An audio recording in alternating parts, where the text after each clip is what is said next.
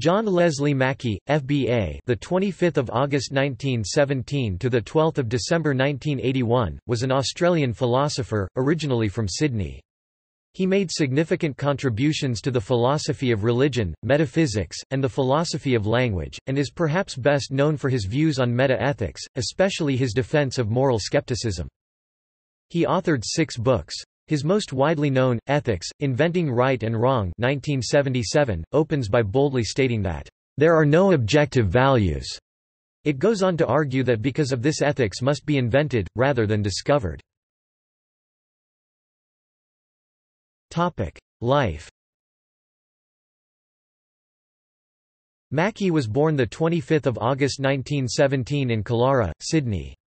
His mother, Annie Burnett Duncan, was a schoolteacher, and his father, Alexander Mackie, was Professor of Education at the University of Sydney as well as the principal of the Sydney Teachers College, and was influential in the educational system of New South Wales. He graduated from the University of Sydney in 1938 after studying under John Anderson, sharing the medal in philosophy with eminent jurist Harold Glass.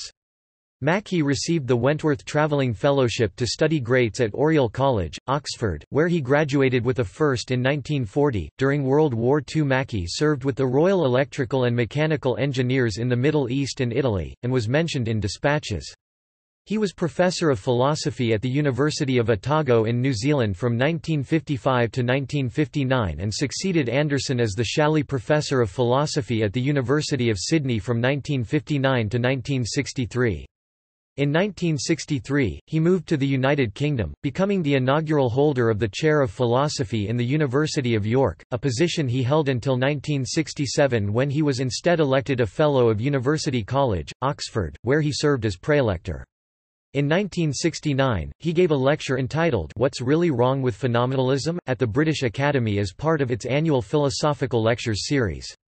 In 1974, he became a Fellow of the British Academy. He died in Oxford on 12 December 1981.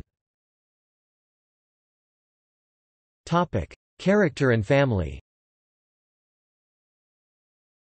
Mackie is said to have been capable of expressing total disagreement in such a genial way that the person being addressed might mistake the comment for a compliment. This personal style is exemplified by the following words from the preface to Mackie's Ethics, Inventing Right and Wrong 1977, p. 3 I am nowhere mainly concerned to refute any individual writer. I believe that all those to whom I have referred, even those with whom I disagree most strongly, have contributed significantly to our understanding of ethics. Where I have quoted their actual words, it is because they have presented views or arguments more clearly or more forcefully than I could put them myself. Mackie married Joan Meredith in 1947. One of Mackie's three daughters, Penelope Mackie, also became a philosopher. She lectured in philosophy at the University of Birmingham from 1994 to 2004, and was appointed head of the Department of Philosophy at the University of Nottingham in 2007. Mackie's younger son, David, is also a philosopher and graduated from Oxford University where he held lectureships at Exeter College, Corpus Christi College and Christ Church before being appointed a Fellow and tutor at Oriel College. As of 2013 he teaches at Deverbrooks College, Oxford. Mackie's other daughter, Hilary, is a classicist at Rice University. Philosophical work Mackie is best known for his contributions to the fields of meta-ethics, philosophy of religion, and metaphysics. In meta-ethics, he took a position called moral skepticism, arguing against the objective existence of right and wrong as intrinsically normative entities on fundamental grounds as unsure about what kinds of things such entities would be, if they existed. His perhaps most widely known work, Ethics, Inventing Right and Wrong, bluntly begins with the opening sentence there are no objective values. He uses several arguments to support this claim that objective values are false.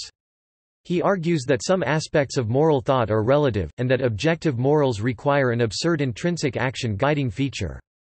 Most of all, he thinks it is very unclear how objective values could supervene on features of the natural world see the argument from queerness. Fourth, he thinks it would be difficult to justify our knowledge of value entities or account for any links or consequences they would have. And, finally, he thinks it is possible to show that even without any objective values, people would still have reason to firmly believe in them hence, he claims that it is possible for people to be mistaken or fooled into believing that objective values exist. The Times called the book a lucid discussion of moral theory which, although aimed at the general reader, has attracted a good deal of professional attention. Concerning religion, he was well known for vigorously defending atheism, and also arguing that the problem of evil made untenable the main monotheistic religions. His criticisms of the free will defense are particularly significant. He argued that the idea of human free will is no defense for those who wish to believe in an omnicompetent being in the face of evil and suffering, as such a being could have given us both free will and moral perfection, thus resulting in us choosing the good in every situation. In 1955 he published one of his Evil and Omnipotence, summarizing his view that the simultaneous existence of evil and an all-powerful, all-knowing and all-good God was positively irrational. Mackie's views on this so-called logical problem of evil prompted Alvin Plantinga to respond with his version of the free will defense to which Mackie later responded in his The Miracle of Theism. In metaphysics, Mackie made significant contributions relating to the nature of causal relationships, especially regarding conditional statements describing them see, for example, Mackie 1974 and the notion of an INUS condition. Upon being given a copy of Richard Dawkins' The Selfish Gene as a Christmas present, he in 1978 wrote an article in the journal Philosophy praising the book and discussing how its ideas might be applied to moral philosophy. Philosopher Mary Midgley responded in 1979 with Gene Juggling, an article arguing that the selfish gene was about psychological egoism, rather than evolution. This started a dispute between Mackie, Midgley, and Dawkins that was still ongoing at the time of Mackie's death. Topic publications Bookstruth, Probability, and Paradox 1973, Oxford University Press, ISBN 0-19-824402-9. The Cement of the Universe, A Study of Causation 1980 1974, Oxford University Press, ISBN 0-19-824642-0. Problems from Locke 1976, Oxford University Press, ISBN 0-19-824555-6. Ethics, Inventing Right and Wrong 1977, Viking Press, ISBN 0-14-013558-8. Hume's Moral Theory 1980, Routledge Kegan and Paul, ISBN 0-7100-0525-3. The Miracle of Theism, Arguments for and Against the Existence of God 1982, Oxford University Press, ISBN 0-19824682-X, Anthologies Logic and Knowledge, Selected Papers, Volume 1 1985, Oxford University Press, ISBN 0-19824679-X. Persons and Values, Selected Papers, Volume 2 1985, Oxford University Press, ISBN 0-19-824678-1. Topic references Topic Further reading Franklin, James, 2003 Corrupting the Youth, A History of Philosophy in Australia, Macleay Press, ISBN 1-876492-08-2, ch.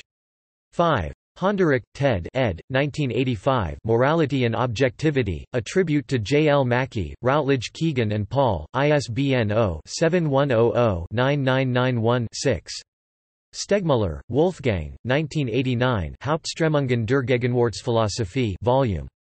IV, ch. 2, Part A, Moral Philosophie ohne Metaphysik, Part B, Mackie's Wunder des Theismus, Alfred Kroner Verlag, ISBN 3-520-41501-1. K. Campbell, Mackie, J. L.